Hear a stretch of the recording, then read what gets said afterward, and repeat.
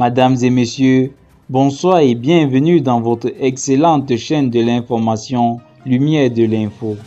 Ici, nous vous illuminerons sur les actualités africaines et même mondiales. Nous vous prions juste d'être courtois et polis.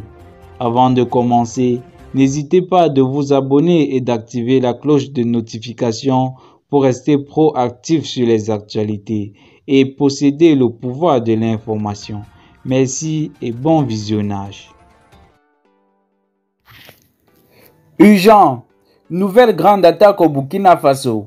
Au moins 12 personnes tuées. Au moins 12 personnes, en grande partie des supplétifs civils de l'armée, ont été tués ce mercredi lors d'une nouvelle attaque de djihadistes présumés dans le nord du Burkina Faso, ont indiqué jeudi des sources locales. Mercredi soir, des individus armés ont mené une attaque contre les populations de Boala, dans la région du centre-nord, tuant au moins 12 personnes, a indiqué à l'AFP un habitant en précisant que les victimes sont presque toutes des volontaires pour la défense de la patrie. Des supplétifs de l'armée, il y a au moins 10 volontaires qui ont été tués et plusieurs blessés qui ont été évacués au centre médical de Boulsa, le chef-lieu de la province du Namendenga, situé dans cette région, a indiqué un autre habitant s'exprimant également sous le couvert de l'anonymat.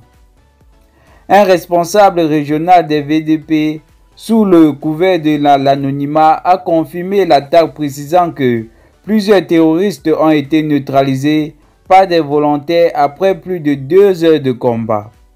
Cette nouvelle attaque est la quatrième connue depuis ce dimanche au Burkina Faso.